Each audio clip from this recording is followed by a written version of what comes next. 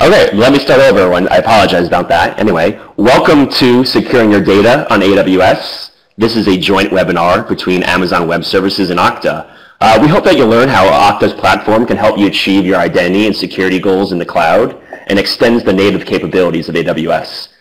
Uh, my name is Patrick McDowell, and I'm a security solutions architect at AWS who focuses on our security partner segment. I help our partners, such as Okta, design and architect their products to run on AWS. And joining me today on the webinar is Stephen Lee, the Director of Business Development at Okta. So the cost of a data breach keeps increasing. Not only will it cost your business significant financial hardship, and as you can see, that's about six and a half million uh, dollars in damage as the average rate per breach, but you, as you can also see, about 70% of customers would try to avoid businesses who experienced a security breach. And as everyone knows, identity is a critical component in assuring that your sensitive data is only accessed by approved parties and users, which is why Okta has such a strong value proposition. Um, so AWS can actually be more secure than your existing environment. And by running your workloads in AWS, you inherit security controls that you would never that you were never able to have on premises. You gain insight across your entire environment via just a single API call. We are seeing a significant trend of businesses choosing AWS just for the security posture they gain alone.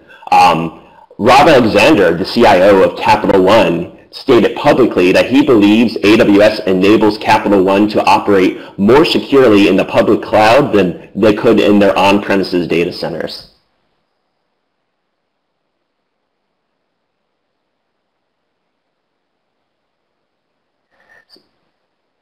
So uh, at AWS, security will always be our top priority. And in order to secure customer workloads, we have a shared responsibility model with the customer. AWS manages and controls the components from the host operating system and virtualization layer down to the physical security of the facilities in which the services operate. And AWS customers are responsible for building secure applications.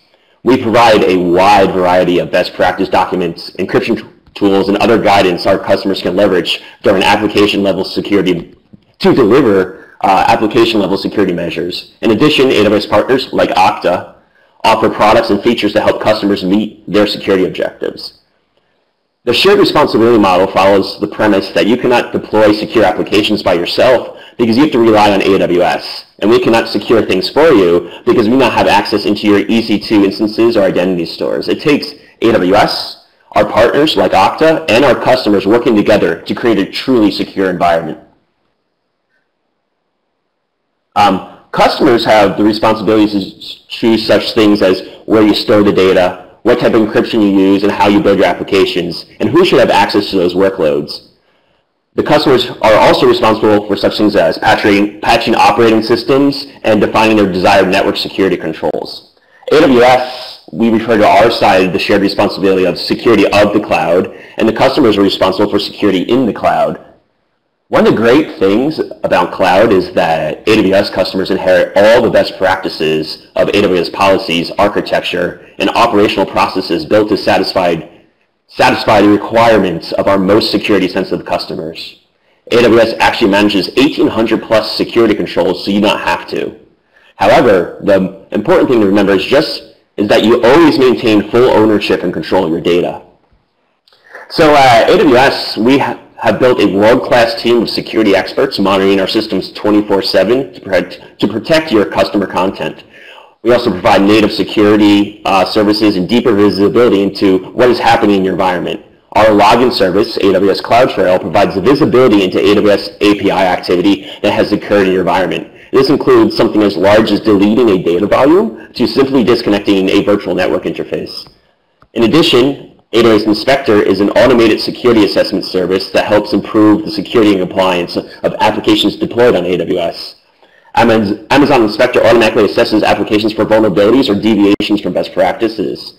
And after performing an assessment, it produces a detailed report that can be sent to you so you can remediate. So availability and reliability are one of the main reasons our cloud business has grown as fast as it has. AWS builds its data centers in multiple geographic regions as well as across multiple availability zones within each region to offer maximum resiliency against system outages. The AWS cloud now operates in with 38 availability zones with 14 geographic regions around the world. Our newest region, Ohio, just opened up last week. And we have a total of nine more availability zones and four more regions coming online throughout the next year. AWS designs its data centers with significant excess bandwidth connections so that if a major disruption occurs, there is sufficient capacity to enable traffic to be load balanced between remaining sites, minimizing the impact on customers. So AWS integrates nicely with your existing resources you might have elsewhere, say on premises. And in addition to the broadest and deepest set of capabilities and services, uh, we provide such tools for enterprise customers to integrate with their on-premise environments, such as our VPC and Direct Connect. Um, Direct Connect provides a dedicated low latency connection to provide direct access between AWS and your current data center. And then we have tools like AWS Key Management Service, known as KMS, and Cloud HSM, which can help manage the full lifecycle and access of your cryptographic keys. AWS Key Management Service is a managed service that makes it easy for you to create and control encryption keys, encrypt your data, and protect your data. And it's backed by hardware security modules um, to uh, protect the uh, security of your keys. So AWS has achieved a number of internationally recognized certifications and accreditations demonstrating compliance with third-party assurance frameworks such as ISO 27001, PCI, SOC 1, SOC 2 and 3, HIPAA, and FedRAMP. And we're always listening for more customer feedback uh, to see what other certifications we should achieve in the future. Um, our, our, accreditation reports, our certification documentation are available for review uh, for, to our customers who are under NDA with us. The most important thing to understand though is just because you are running your PCI application AWS, this does not make you PCI compliant. Uh, PCI compliance is a joint effort of the shared responsibility model. And we have customers in all possible segments uh, consuming AWS, including industries that are typically slower to adopt, such as oil and gas, financial services, and healthcare. And with that, I'd like to hand it over to Stephen Lee. He's the Director of Business Development and Partner Solutions at Okta, and he's going to dive deep in the Okta platform and how it seamlessly integrates with AWS and how it makes using AWS uh, easy. Great. Um, Thank you, Patrick. Uh, Stephen Lee, Director of Business Development and Partner Solutions at Okta. Very happy um, to be on this call. Um, if you look at Okta, and I've been with Okta for, for five years and a bit, it's, it's a product that was born and built in the cloud. I mean, from the day we started the company, um, Okta was always meant to be a cloud service. Now, before I joined Okta, I actually worked for another company that built on-premise identity management software, and I was there for many, many years. And when we look at the identity management space, we, we quickly realized that you cannot bring an on-premise piece of identity management software and just deploy it in the cloud and, and turn it into a SaaS product. You cannot just go and deploy Active Directory in the cloud and get sort of all the features and everything that you get out of a product like Okta. And that was the number one thing. We realized that we have to roll the product out and run it in the, in the cloud. Um, the second thing, our goal is to try to connect to everything. Things are changing, and, and honestly, when I look back four or five years ago when I first started at Okta, web app was the king, but then very quickly we're all walking around with iPads and phones and things like that. So the technology is changing, the apps are changing, what we as end users, our habits, the devices that we carry, it, all that is changing, and it's important for us to be neutral. Um, we're, we're totally independent, we're unbiased, and our goal is to make sure that we connect our customers to any technology that they want to do, and, and that's very important to preserve the choice. Um, and in order to do that, you know, we need a very robust platform, and we run on AWS, and and that really gives us that foundation to build a very robust and secure um, product on top of, um, as you see from Patrick, all the certifications and assurance programs that, that AWS has gone through. We can sit on top of that. But in addition to that, we also have to do some extra work. Um, the Okta product is, is built out of multiple products. And with that, it, it basically splits the audience into two. Um, there's, a, there's a product for IT and there's a product for developers. For IT, people are leveraging Okta for employees, for rolling out applications, dealing with um, the, what I call the identity lifecycle. So someone joins the company, a new hire. How do you go through that initial um, onboarding phase to get people what they need to have access to? Then you go through um, while the person's in the company, moving around maybe from one location to another or getting promoted or moved from one department to another. How do you make sure authorization and things are handled correctly? And then, of course, all the way to the very end when someone leaves the company, how do you then disable access? How do you then make sure that there's a good transition um, for, for, for that um, offboarding process? This is all very important. And, and it's especially more important in the cloud world because I think back in the day, if everything was behind the firewall and you stopped the, the employee from going to work, uh, he or she basically can't access a lot of things. But now we're all using cloud products, and AWS included. Right? Salesforce, Slack, Box, all these type of products. Um, if you don't terminate the access, then, then technically the person can still have access after he or she leaves the company. So that's very important. So that allows us to, to, to enable the IT transformation that a lot of CIOs are taking on today. But when you decide to then build your product on top of Okta, and if you think of every company today as a technology company, every company is building portals, building external facing apps, even stuff that we do every day. You go maybe order a coffee or sign up, uh, um, get, get your airline tickets or book a hotel room. That's all technology sitting behind it, and identity is a core piece. You're always logging in with users. You're always dealing with passwords. Um, for sensitive industries, you may be prompted to do second factor authentication. All that is, is a huge identity infrastructure that all these companies will have to worry about. And for that, we provide value for developers. We allow you to then build your application on top of us, whether it's a web app for internal use or a SaaS app if you're an ISV for your customers or building mobile apps for your consumers. We give you that identity layer so that you can provide just the right level of identity um, and you don't have to worry about it and you can then basically focus in your own business. Now, the product itself um, has, has multiple sort of mini individual products within it.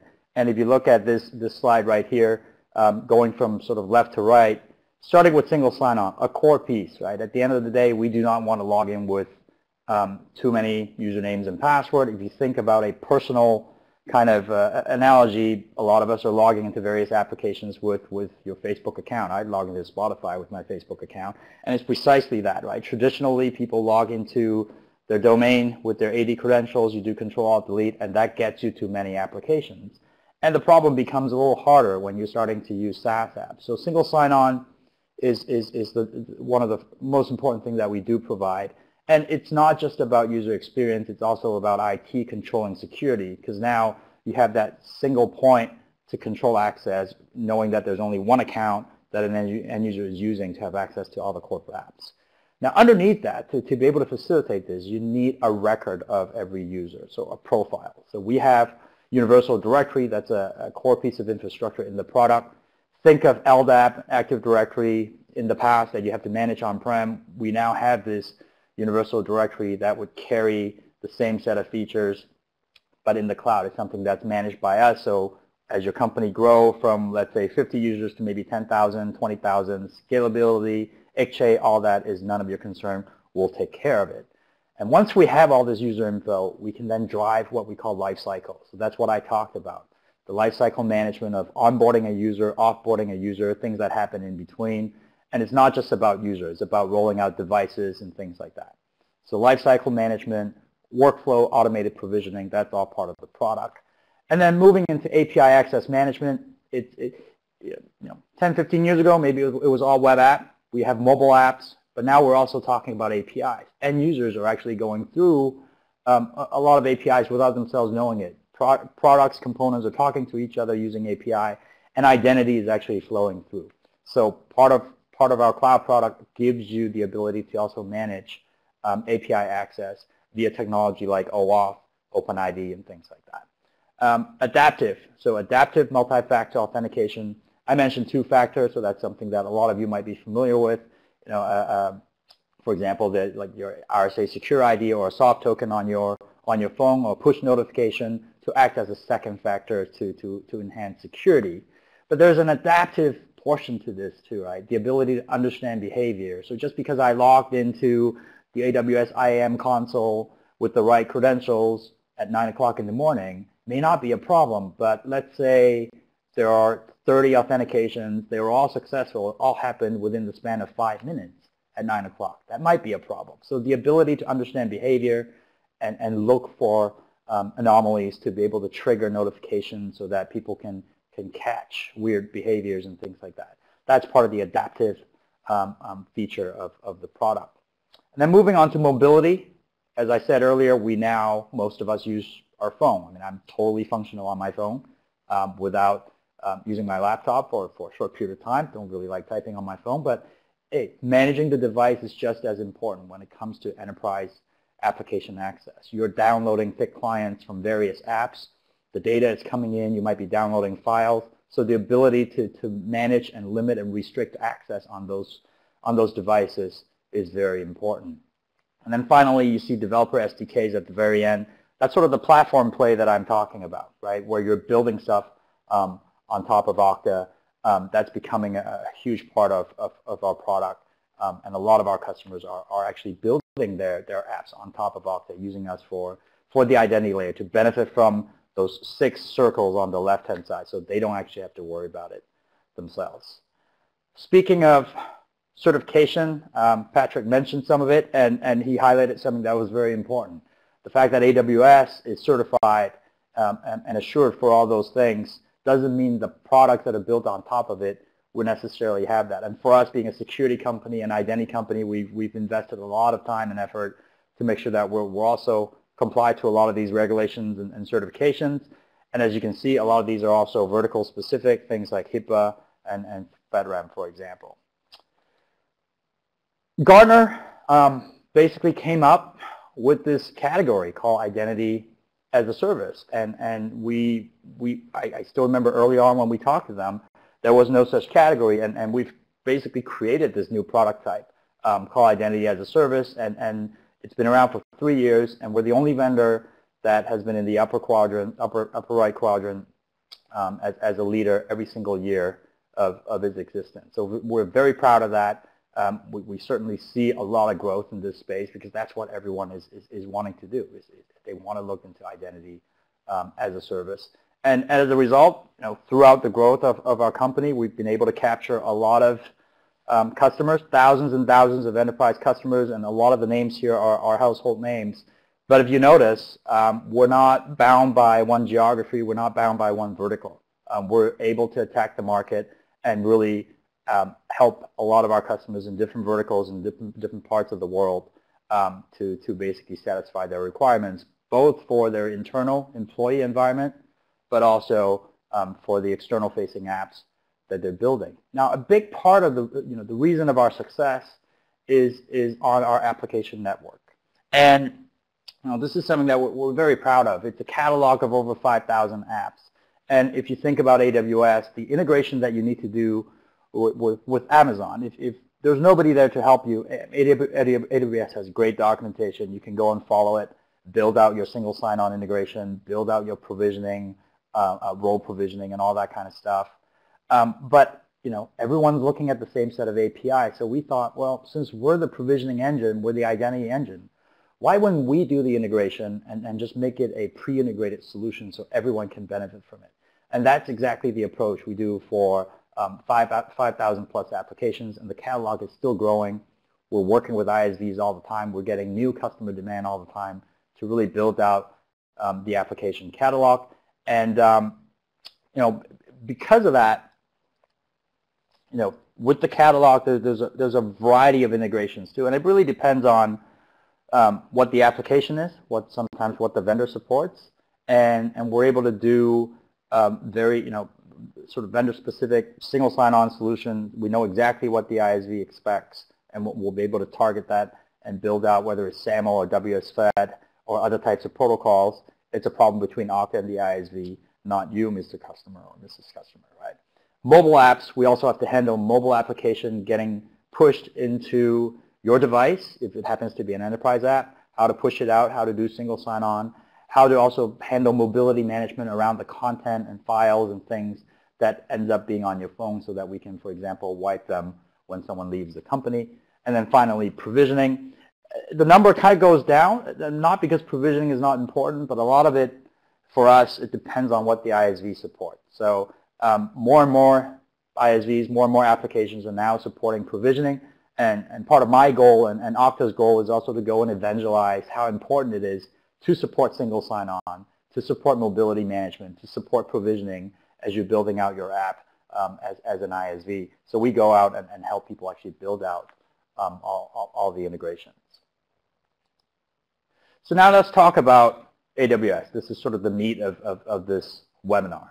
And a lot of you are probably facing this, this dilemma. And let's kind of focus on maybe the right-hand side.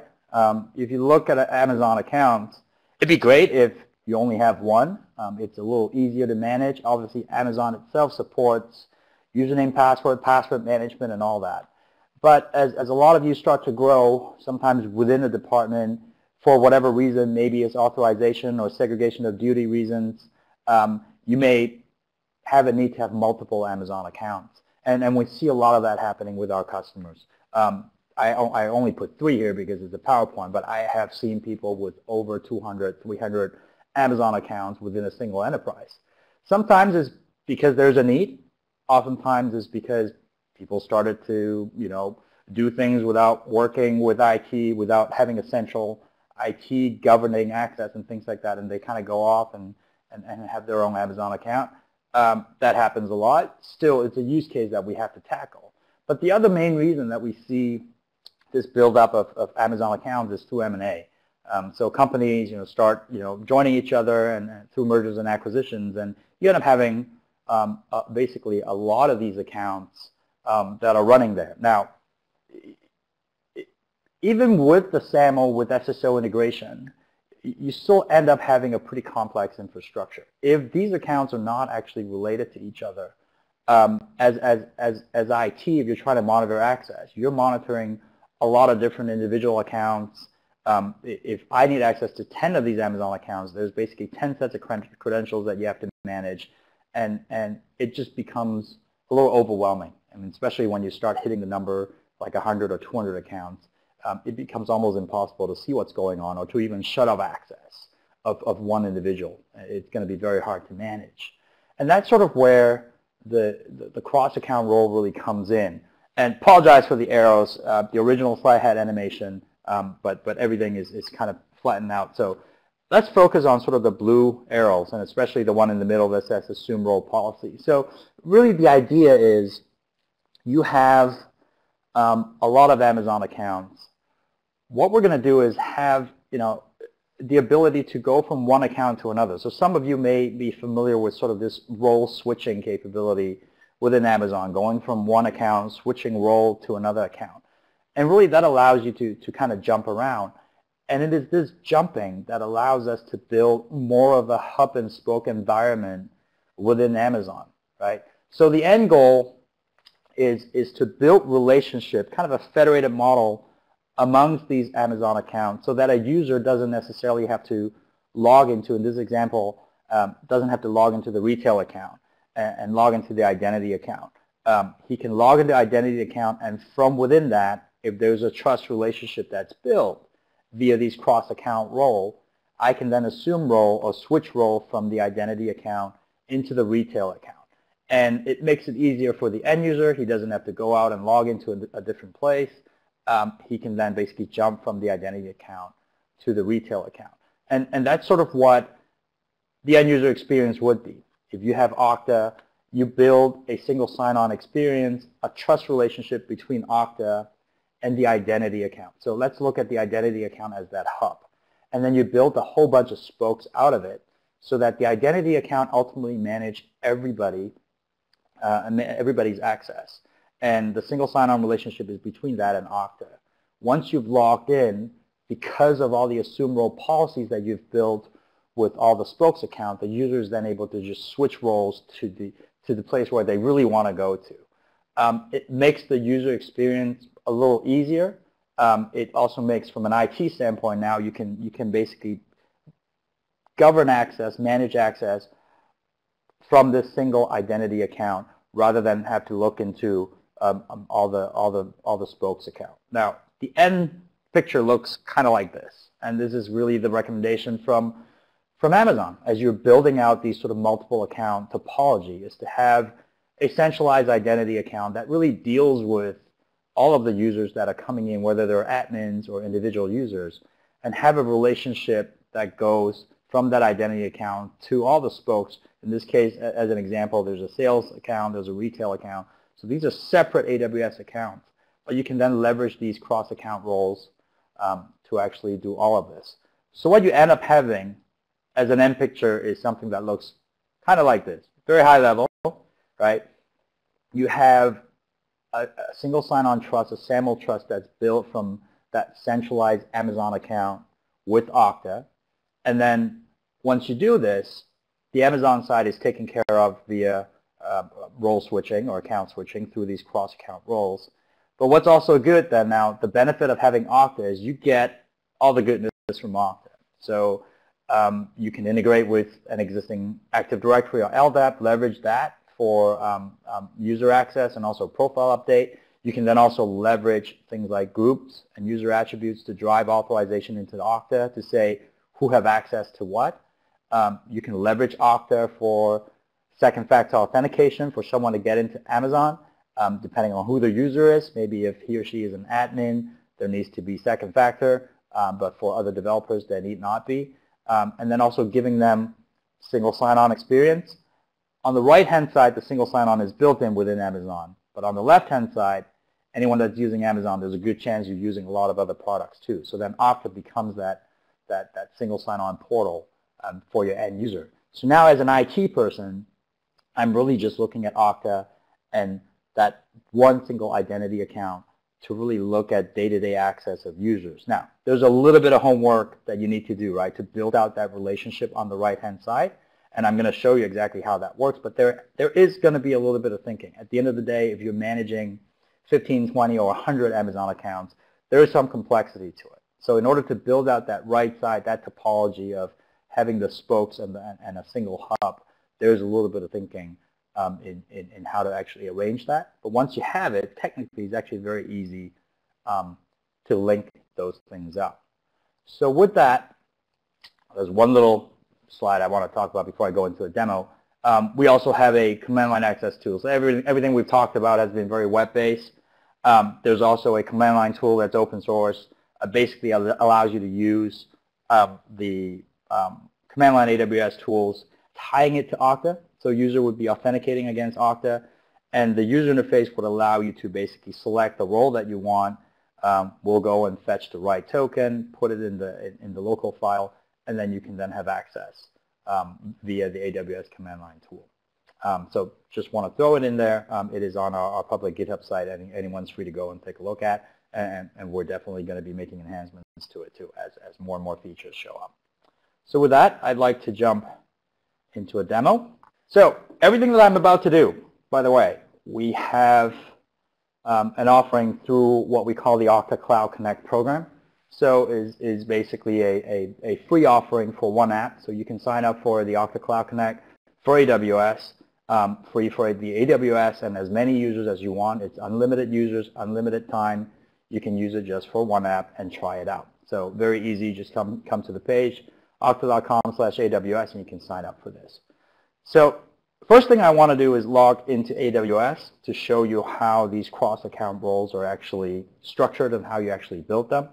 So I'm, my whole environment is actually protected by AWS. So um, I'm going to log in as myself into this Okta tenant. This is a very typical Okta view. Uh, this is obviously a demo environment. Um, if, if you're actual, you know, any really productive end user of Okta like myself, um, let's see if I still have um, this would be, this is actually my real Okta login page when I go to work. There's about 150 apps here, um, and, and that's why I'm so productive because I, it's very easy for me to get to applications, single sign-on, everything is built in. So I'm going to click on this to get into um, the identity account. So the identity account, like, like in the slides, this is the, the hub account. This is where all the, all the cross-account roles are, are being um, defined so that you can go from here to all the other um, Amazon accounts. So I'm going to log in, and I'll go through the Okta setup afterwards so you know how I actually am able to single sign-on into this thing. But what we want to focus on is, is really look at um, the roles um, that are being defined. So um, if you look under Identity and Access Management and click on the roles, what we'll focus on, and let's focus on these two, basically the retail and the sales um, S3 admin, retail S3 and sales um, S3 admin roles. Now, rather than starting from here, let me take you to the other Amazon account to kind of show you exactly how this whole thing works. So kind of going backwards. Now, the way I've built this, me as, as um, an, an IAM admin, um, I'm actually able to switch role um, to one of these accounts. Um, so I'm actually leveraging the feature as I'm describing to you what the feature is. So now I'm actually in the Acme Sales um, AWS account. And in that, I've got a couple roles defined. I have an IAM admin for high privileged access in this account, um, but I've also created something called an S3 admin role here.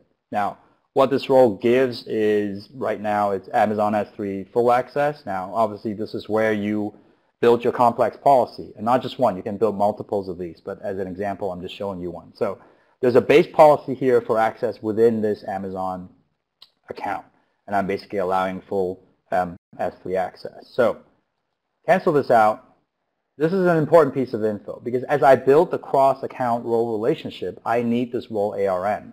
Um, so taking this, what I'm going to do now is go back to the, the, the, basically the Acme identity account. So you see currently I'm in this and I logged in through this. So I'm basically going back into the Acme identity account to show you how we've built this cross-account relationship. Um, now, if I look at the S, sales S3 admin role here, what this role is meant for is we've attached a policy that allows us to carry out the assume role operation. And when I look at the policy, it is allowing me to do this action, and the resource that I'm going to is the S3 admin role for the Acme sales account. Um, in the policy definition, you need to use the unique ID, the identifier, the number. As an end user, if you're specifying the role uh, to switch role to a specific account, you can actually use the, the user-friendly display name, um, which in this case is, is Acme Sales. So from the IT perspective, you need to know um, the account number, but for the end user, you can actually choose something else. And I think the great thing with AWS is once you've done the switch roles a couple times, it actually remembers the history, so it makes it a little easier. So now this is the relationship from the identity account to the spoke account, how we're, we're doing the assume role. So if I go back to Okta, I'll show you the rest of the setup. Um, so in the Acme Corp, uh, not only am I an end user to get into Amazon via the chiclet, I'm also an admin in Okta. So everything, like I said, is cloud-based. You do everything from within the admin environment. So first things first, that 5,000 plus application catalog, we have AWS as one of the apps. So if you go to add app, um, it's very easy for you to add the application. Now you notice there is only one app here, only Amazon, because this specific tenant um, started off with as, as an Okta Cloud Connect um, tenant. If you look at kind of a normal tenant, this is my normal demo tenant. You see here I've got actually 5,000 apps. So as you go beyond the Okta Cloud Connect program, um, and, and you, you basically pay for the additional applications. We then open up the catalog for you. Um, and it's very easy if you want to, let's say if I'm just starting to use Slack, Slack is a certified and Okta verified product with SAML provisioning, so this is very easy for you to, to see, right? So go back to the Amazon one that I'm working on. So what we do here is, is we need to do two things. One is set up the SAML relationship, and the other thing that we need to do is, is basically to set up the, the import capability so we can import the roles. So if I go to the application tabs, and because I've already set this up, um, you will see a lot of Amazon instances here. Now, it, it's, it's interesting that, that you're seeing a lot of these. The only one that I'm going to focus on is the identity account.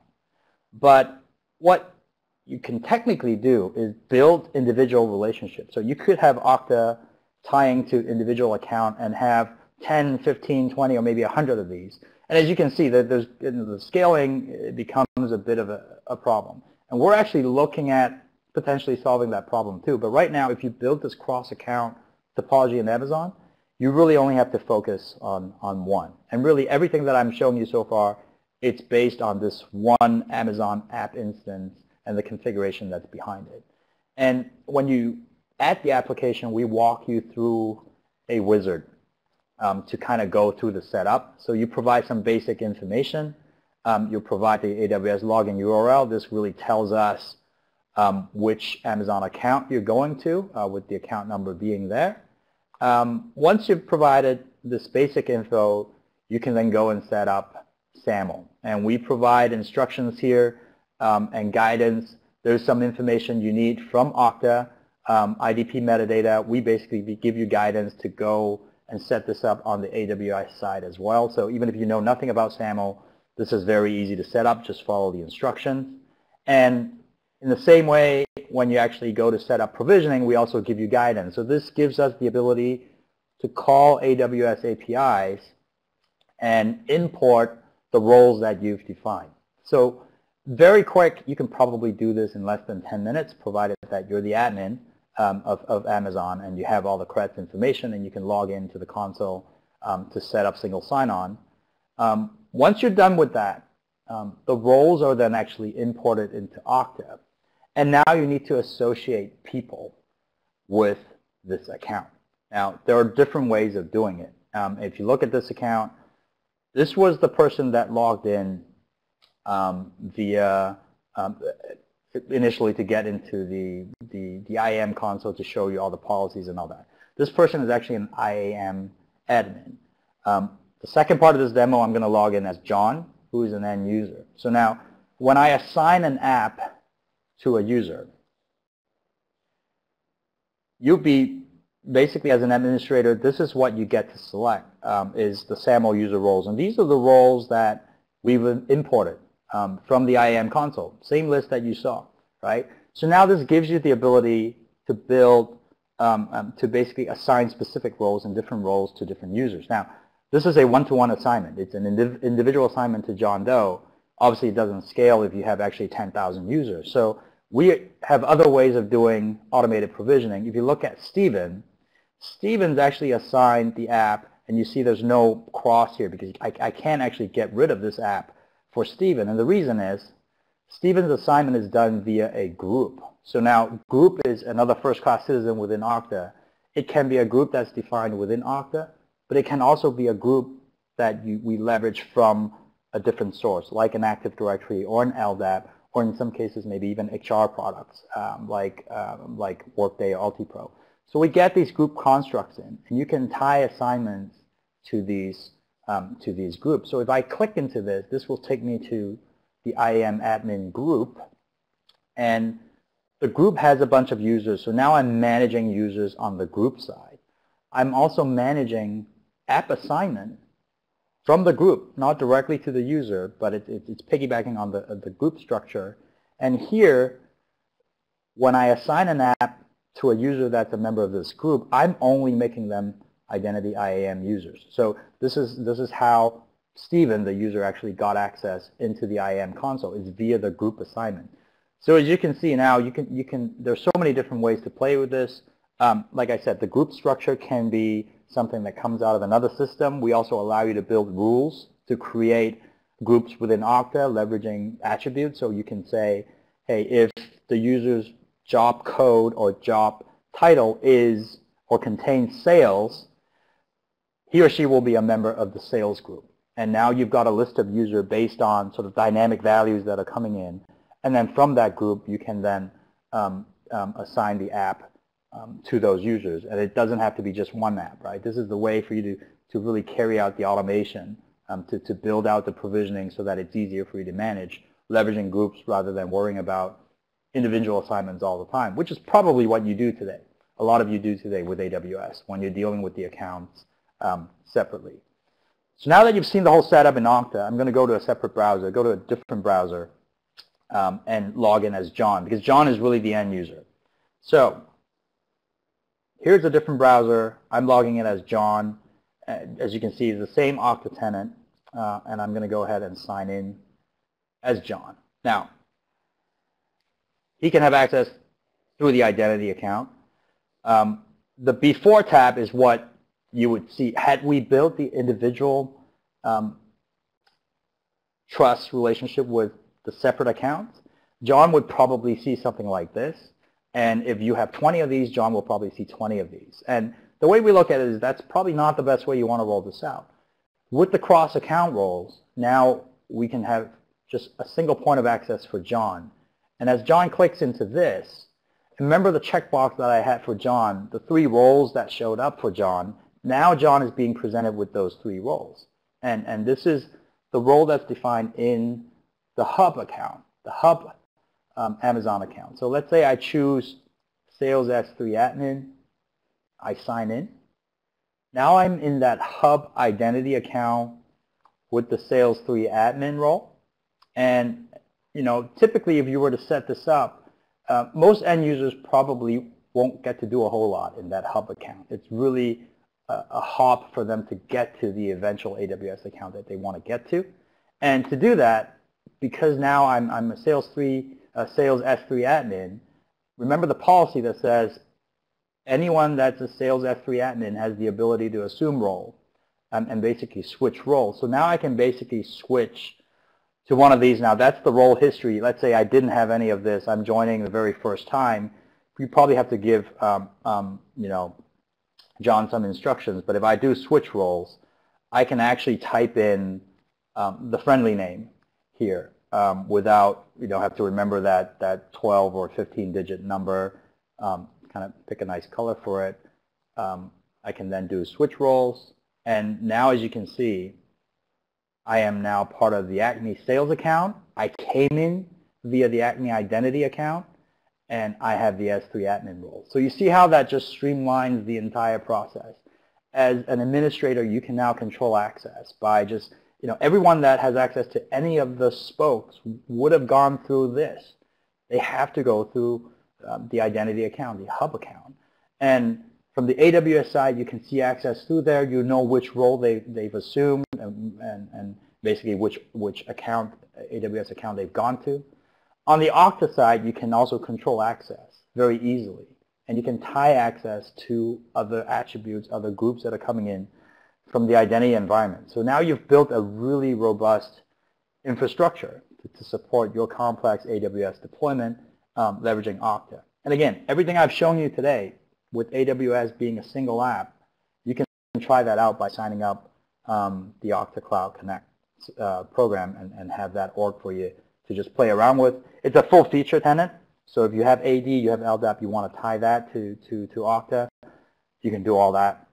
MFA, all that is it's functional. So, um, you know, hopefully this gives you a, a high-level explanation. It is, it once you get the hang of it and know how to build the relationship, this is actually a pretty pretty simple way, but, but in my opinion, a very robust and secure way to, to pull all your AWS accounts together. Um, so with that, maybe I'll, I'll hand it back to, to Patrick for, um, for questions. So let, us start with some questions. So Stephen, the, the first question uh, I have for you is, uh, this comes in, uh, does this require any hardware in our data center? Um, it does not require any hardware in your data center. Um, again, Okta as a product itself um, runs fully in the cloud. So um, the, the only thing that we might touch is if you have an on-prem Active Directory that's, let's say, running in your data center, running behind the firewall, or you have an LDAP. Um, and if you need uh, to connect to that, we have a, uh, an, an agent that needs to run behind the firewall to be able to talk to AD or LDAP uh, and the good thing about these agents is they don't need to sit at the DMZ or we don't need to punch any hole in the firewall. It's, it's, it's, it's architected in such a way that it only makes outbound calls. It does long polling against Okta. And the agents are very small. Um, in, in the Windows case, it, it, runs as a Windows service. In the LDAP case, it's a Java daemon um, so that we can basically communicate um, to your AD and LDAP that's sitting on-prem but no hardware. I mean, let alone you know, soft, even the software piece is extremely small, but definitely no no no hardware requirement for you to to do anything there to to basically roll out Okta. Uh, as a follow-up, so you mentioned uh, integrating Okta with Active Directory on premises. Um, is there always a requirement for a directory, um, uh, like an Active Directory, if they don't have, uh, some customers don't have AD or LDAP available to them? Is that a requirement? It is not a requirement. So as I showed you, the demo that I did, um, I only had seven users in Okta, um, demo users, and those are all local users. So in fact, what, what's really good with, with Okta as a product is, is creates that virtual identity provider, a, a, virtual cloud directory for you. So if, if you have AD, great, we can import the users in there. If you have two ADs in, in a complex environment, they're disjoint, or if you have a forest, we can get all that in there. If you have AD and LDAP combo, we can also do that. You may have actually AD and local user combo, and, and you'd be like, well, why, why would I have that? Think contractors and partners, right? You probably don't want those people to be in your AD because then all of a sudden they have access to SharePoint and VPN and all that. So Okta then can be that local cloud directory just for these users that don't belong to AD, so you run it in the hybrid environment. And then finally, you can just have a pure Okta environment. Yeah, there was a time when Active Directory was everywhere. I think in a way it still is. But a lot of newer companies, people that are just uh, a total Mac shop, they don't have a need to have AD they are using Okta as their core directory. That's the only directory they have. So, so to your to your question, no, there there is no need to um, to, to have AD or LDAP um, in order to use Okta, and a lot of our customers don't. Um, they just use us as as that central core um, corporate directory for for their employees. Great. Uh, one more AD follow-up question there. Does Okta support uh, multiple Active Directory forests? Yeah. So I yeah, kind of answer that. Yeah, we do. We do, and it's it's a basically the the AD agent that I talked about earlier. Um, you can deploy multiples of those, and, and within the Okta environment, we allow you to create relationship with multiple sort of logical forests. Um, so um, we can pull all those users in, um, and the great thing is, you know, oftentimes we see this in an M&A situation. People have different nomenclatures, different domain names.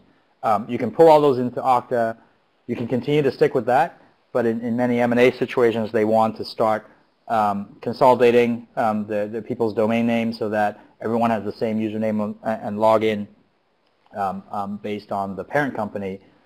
Okta can, can provide that sort of bridge where the, the underlying AD can still have the old UPN, the old SAM account name, but then when people log into Okta, we have one extra level of mapping. And that's important because when you think about provisioning into outside products, uh, we want that name consolidation so that you don't start pushing old um, domain names into various um, new apps that you're rolling out. So yeah, we, we, actually do a very good job in, in consolidating complex um, AD infrastructure. And, and the AD agent is, is, is very good at doing that. It's also HA um, ready. So um, that, that is a huge part of our business. So we invest a lot in that area. Great. So other um, we have a RSA Secure, this is questions for you, Stephen. If we have an RSA SecurID as our two-factor solution for VPN and other things, uh, can AWS integrate with the RSA SecurID? Yeah, absolutely. And, and when you think, and this is another great reason when we work with AWS and, and many ISVs, you know, th this is a, a, a, top requirement that, hey, we've got a corporate um, second factor solution. If you tie your authentication with Okta then Okta becomes the authentication um, mechanism, and we have the ability to actually integrate with a lot of these uh, third-party vendors. So to, to just list out a few, RSA is, is one of them. Um, Symantec VIP we also support. Um, if you happen to be using um, Yubico YubiKey, we support that. Um, if you happen to be using Duo Security, we also support integration with that. And by the way, if you don't have any of that and you just want an MFA solution, Okta itself is a full-blown MFA solution because adaptive MFA, multi-factor, is, is, is part of the product stack. Um, so we go from security question to SMS to um, a six-digit soft token on your phone, all the way up to push notification. So we give you a, a pretty big variety uh, of choices when it comes to second factor. Um, but yes, integrating with RSA is, is, is definitely something that we support. And besides the second factor, can Okta be used as a standalone uh, uh, password yeah, manager? so because we have the directory, um, um, so for a lot of users, their credentials would be locally stored within Okta, and we obviously manage the entire password lifecycle there. What's really good is if you actually have users in AD, for example, and AD password reset has always been a challenge, um, and it turns it, it, tend, it tends to turn into a lot of help desk calls for a lot of companies. Um, we actually have, our integration with AD actually allows Okta to drive the, the AD password um, lifecycle. So, you know, we are aware of expiration. We can force the user to go and change the password. And when you change the password, actually second factor can kick in if you want to apply that policy, you know, to make sure that I have a phone and it's a push notification before you allow me to change the password. So password management for passwords in Okta, password management for passwords that are passwords that are sitting in Active Directory. Uh, we support both of those. So uh, this is, uh, here's a question, I'll, I'll, take this one. If I'm using a central identity account, is there a way to delegate the creation of roles to bespoke accounts for admin access uh, to those specific accounts? So now, uh, as Stephen was mentioning, that is, you do have to do a bit of homework, but like everything in AWS, it is an API, so you can program programmatically create the roles in the other accounts um, once you get to a very high level of sophistication. But that capability does not exist uh, natively. So, uh, Stephen, what, what does, how does Okta help when uh, your corporation has a lot of contractors who are not in your corporate directory? What's the, what's the best case scenario there? Yeah, so I, I kind of talked a little bit about that, right? Um, the, the, beauty is when, when you build a relationship with, um, you know, in, in this context, we're thinking about AWS, right? And the trust is built between the, the AWS identity account and Okta. AWS really doesn't care where the user is coming from. All it knows is, hey, if Okta tells me a user is logged in, I trust Okta, and I'll let that person in. But on the Okta side, we've got the flexibility of figuring out who who's coming in. So um, as I said earlier, uh, a lot of companies, when it comes to contractors and partners and outside users or part-time workers, um, they don't create them in AD. They don't create them in LDAP because those are corporate directories. They'll just create them within Okta, and you manage the lifecycle um, within Okta. And in which case, they wouldn't log in with their domain credentials because they don't have it. But um, you know, when you create a user in Okta, they'll get a registration email from Okta saying, "Hey, you've been created. Come and set your security question, security um, picture, and and set your password, which is enforced by the Okta um, policy." And then you use Okta. These contractors would use Okta to log in.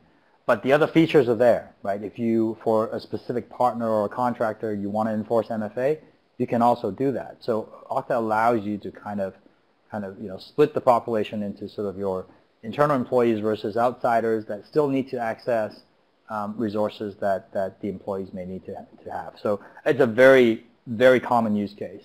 And, and a lot of people, you know, really love us for that because without that, it's very difficult. Like once you've built the trust with one directory, it's hard to split it, but Okta allows you to actually split that. So it's, it's a very useful feature, and, and like I said, a, lot of our customers use, use that for, for contractors. Great. Um, so, excuse me. So uh, besides SAML, does Okta support any other protocols like OpenID Connect, OAuth? Um, is SAML the only thing?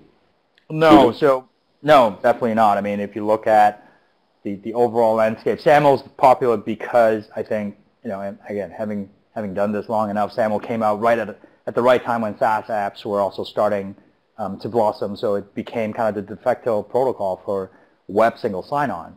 But as you look into other devices, you look into mobile, you, you look at maybe even API, uh, newer technologies are there. So um, we also support um, OAuth and OpenID Connect, um, you know, for people that are building newer apps, building you know single page apps.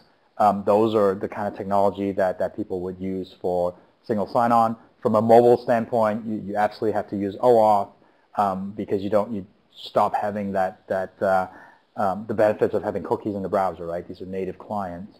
Um, but even on the website, it's not just SAML. We've, we've done proprietary integrations. We've done a lot of WS-Fed integrations, obviously with Microsoft products like SharePoint and Office 365, it, it has to be WS-Fed. So we take care of all that. But remember, you, we, know, we don't want you to code.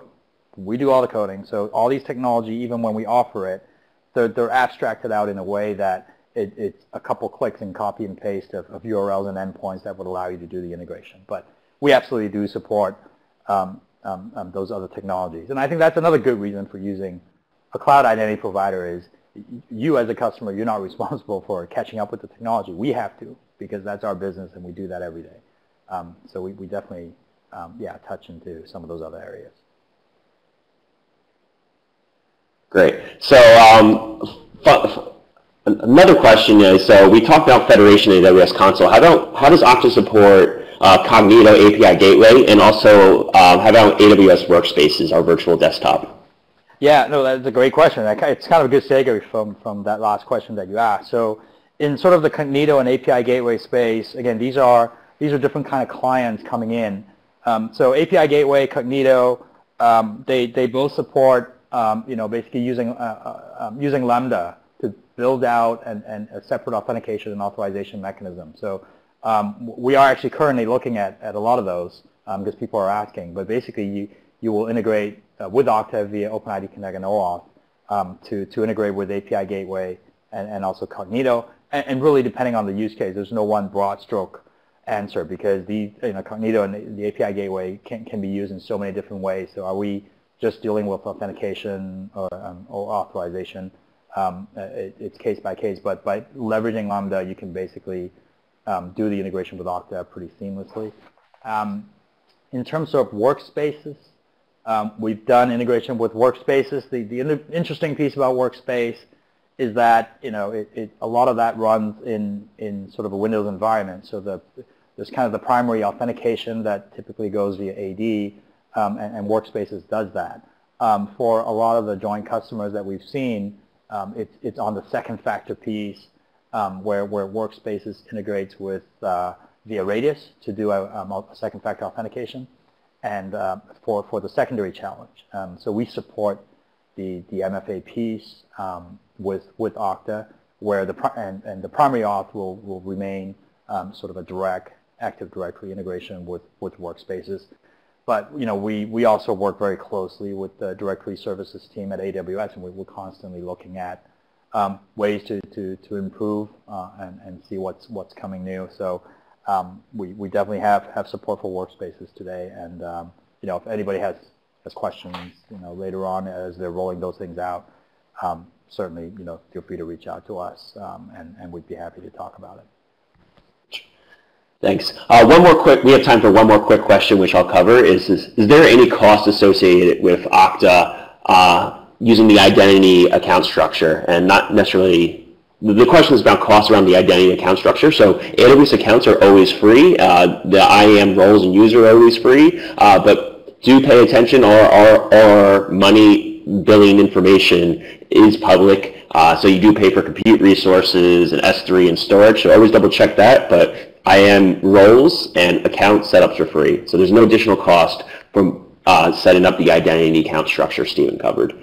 Um, I want to thank everyone for coming uh, and attending. Um, I hope you uh, learned a lot.